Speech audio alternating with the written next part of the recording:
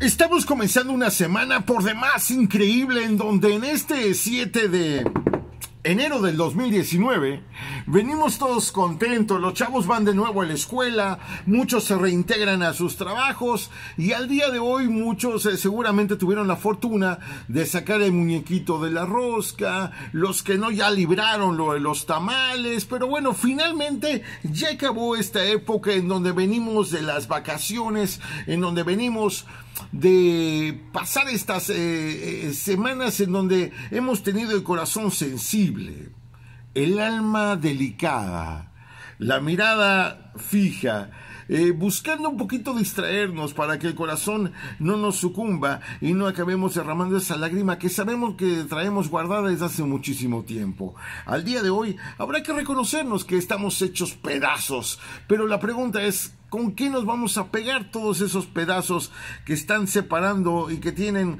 alejadas y cada una de las cosas que nos interesa tener en nuestra vida juntita? Yo se lo quiero decir. ¿Sabe con qué lo vamos a pegar?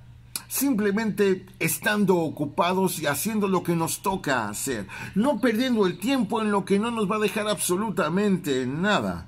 Eh, ya pasamos el tiempo de la Navidad, ya pasamos el tiempo de los Reyes, vámonos preparando para el 14 de febrero y así consecutivamente para cada una de las festividades que cada uno de los meses tiene en este programa operativo de promociones emocional en el cual todos estamos inmersos. Reconozcámonos que estamos hechos pedazos, pero abracémonos nosotros mismos para salir adelante.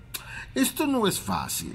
Sin embargo, puede que de la noche a la mañana todo cambie y hay que estar listos para que nosotros podamos tomar ese cambio, esas bendiciones y llevar nuestra vida a donde queremos que quiera, a donde queremos que vaya.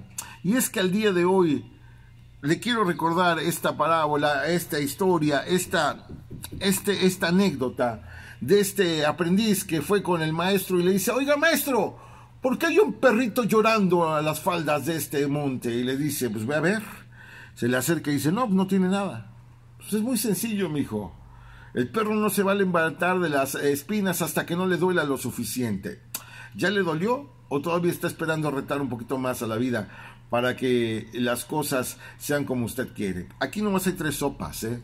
Uno, le echamos ganas para que sean como uno quiere. Dos, lo planeamos para que las cosas salgan como nosotros queremos que sean. Y tres, nos podemos de rodillas y reconocemos que estamos hechos pedazos y que la única forma de estar juntos esos pedacitos es con amor, con humildad. Y como le insisto todos los días, en este pastel de vida, que hay que ponerle azúcar de sonrisas, levadura de inteligencia, disciplina de la harina y muchos huevos. Estamos hechos un rompecabezas. Unámonos.